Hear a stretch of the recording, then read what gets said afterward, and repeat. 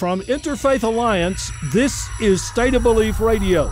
I'm your host, Reverend Welton Gaddy. When the president spoke out in support of marriage equality on Wednesday afternoon, it seemed that every conservative, so called pro family, so called religious group had a press release ready to go. And everybody hit the send button at the same moment. Perhaps Vice President Biden and Education Secretary Arne Duncan's expressions of support last weekend gave them fair warning of what was coming next. Perhaps they'd been sitting and praying for just such a presidential announcement, confident that it would ensure Barack Obama's defeat at the polls in November. Well, their prayers have been answered, but what are the possible electoral implications of this president throwing himself into the deafening roar of the debate over this controversial social issue? Well, here to answer that question and to analyze the whole situation is our friend Sarah Posner, senior editor at Religion Dispatches.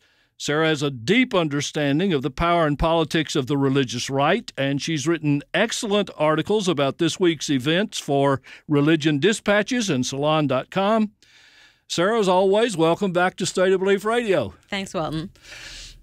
First, I, I want to tell you how much I enjoyed the headline of a recent article you'd written about the president's public stance on marriage equality. The headline read simply, "Evolve already!" exclamation point. That went up on Religion Dispatches on Monday, so I think much of the credit for Wednesday's announcement goes to you. I doubt it. Besides your article, though, what else do you think finally moved Barack Obama to do what he did?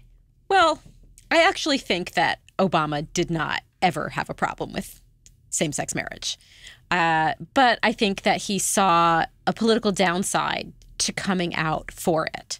But there has been a remarkably rapid transformation of the country's public opinion on this issue since just 2008. I mean, if you look at the public opinion data going back to 2000 to 2004 to 2008 to now, it tracks on this remarkably rapid trajectory towards acceptance of same sex marriage. So during the time that he's been in office, there has been a great evolution. The public opinion evolved faster than the president's apparent opinion on this did. Uh, so I think that he found this moment to be one in which he could no longer stay in this box that he had created for himself by saying, well, I'm for all of these LGBT rights except for marriage. Um, he could no longer hew to the religious conservative rhetoric of, I believe in traditional marriage or I believe it's between a man and a woman. And it became increasingly difficult for him to be in that spot and still be credible about it. But you believe he came to the office probably already thinking very positively about this. I just think that it's it's hard for me to imagine somebody with his background mm-hmm. uh, and his purported belief system mm-hmm. that he would have a serious problem with same sex marriage. I think he understood LGBT rights and equality. I think, but I think he also understood that there would be or he thought that there would be a backlash against him for coming out for marriage. Mm-hmm. And I do think that that had something to do with the religious figures that he surrounded himself with when he was campaigning when he first took yeah. office. Yeah. You know, Biden gets accused of being a loose cannon and, and yeah. sometimes saying things that he shouldn't have said. Right. But uh, he probably didn't do anything wrong there. He, he probably ran the flag up the pole intentionally. Well, he came out and made those remarks on Meet the Press on Sunday. On Monday, the administration just tried to parse and prevaricate and somehow come up with some explanation of why Obama's position was somehow consistent, even though he did not, he supported everything but same sex marriage. And I think that Biden gave him the opening to just realize mm-hmm. that there wasn't going to be a huge political backlash against him except from the religious right. And this is a constituency that isn't going to vote for him anyway. And he might as well uh, do the right thing. Right. Well, I guess the the big unknown at, at this point is how is this going to impact what uh, what happens in November, right. if at all? Mm-hmm. And there's a lot of speculation from uh, this will energize the youth vote and uh, thus help the Democrats. So this is going to alienate a part of the African American electorate. Mm-hmm. what are your thoughts on it? Well, I think that again, the public opinion polling shows African American voter, younger African American voters, more accepting of same-sex marriage than their elders are. Um, that there are similar demographic changes in in terms of uh, views of same-sex marriage in the African American community and the Latino community as there are in the population at large, and it's less likely to impact the youth vote or the millennial vote uh, because they're more in favor of same sex marriage than older people are. Uh, I have a hard time imagining that this single issue is really going to turn a lot of voters. There may be conservative, older conservative Christians who would possibly be more motivated to drive their neighbor to the polls on election day or go to do phone banking for the Faith and Freedom Coalition or one of those uh, religious right organizations uh, because of what Obama said. But by and large, I think that that's a constituency that has viewed Obama as yeah. quote unquote pro abortion, waging a war against Christianity, possibly Muslim, possibly not a real Christian, possibly not a real American. so it's hard to imagine that this is going to change things a lot for them. And in fact, I'm pretty sure that probably a lot of them considered him to be quote unquote pro gay anyway mm-hmm. because mm-hmm. of the repeal of Don't Ask, Don't Tell and the refusal to defend the Defense of Marriage Act in court. So, by Obama's Justice Department. So, I just don't think it really changes that equation that radically. Mm-hmm. Uh, the Washington Post, on the day after uh, the president's announcement this past week, uh, carried a story of, of I think it was two African American men who had voted for um, Obama mm-hmm. last time, mm-hmm. and and now said that they they could not vote for him uh, because of this. Right. My my question to you is: You're right. We know the religious right's going to try to make something of this, but who is going to vote against Obama because of this that otherwise would have voted for him. I mean, it's pretty small, isn't it? I would think that it's pretty small. I mean, I think it's possible to find people who would say that, but when you look at, for example, in Maryland, where there's a, there will probably be a referendum on the same-sex marriage bill that passed the legislature and was signed by the governor. Mm-hmm. Um, because people who are against same sex marriage are trying to petition to put it on the ballot for the voters to decide. And there was a piece that ran um, just this morning about the possibility of uh, the African American vote in Maryland uh, overturning the legislature's uh, law. Mm-hmm. And there was an African American pastor whose name I'm forgetting at the moment, but he was talking about how, yes, there are African American pastors who are out there saying that same sex marriage is wrong and we need to overturn this law.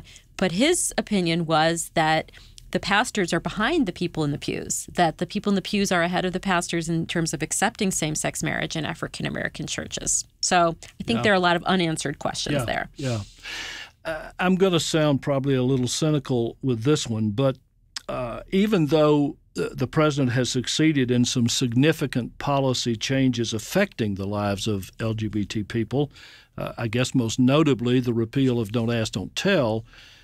Many gay rights activists uh, see a lot of missed opportunities in areas like the non discrimination policy for mm-hmm. federal contractors right. that the president simply refused to implement by executive order. Uh, again, uh, not to be cynical, but is it possible that strategically uh, the private admission was expected to distract from the lack of further progress in public policy? I guess that's possible. Uh, but, you know, remember that Obama did say that very explicitly that this was his personal belief that he came to, that he believes that right. that uh, same sex couples should be able to get married legally.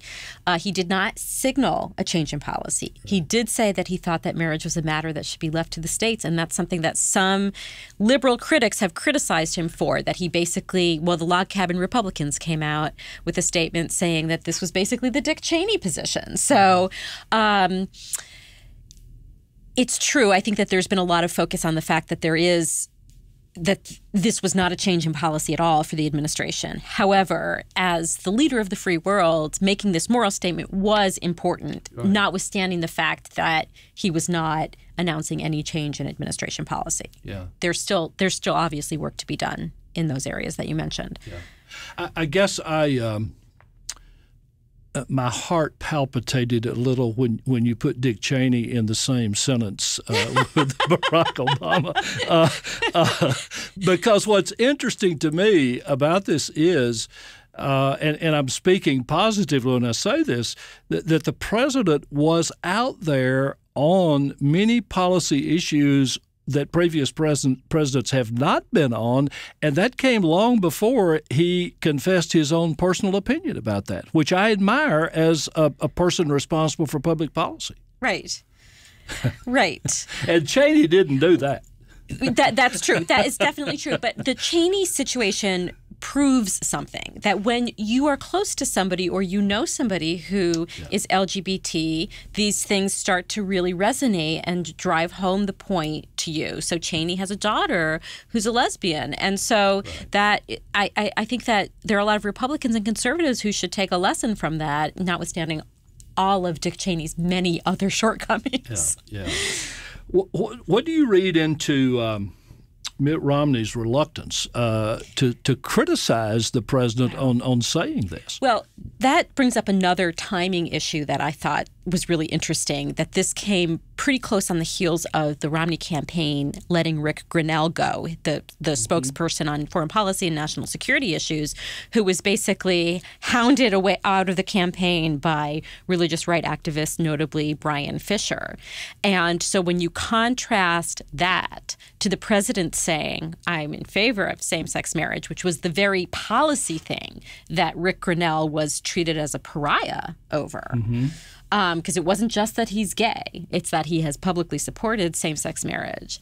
Um, it really made the contrast between them seem in terms of not just in terms of policy, but in terms of acting like a human being seem very, very stark.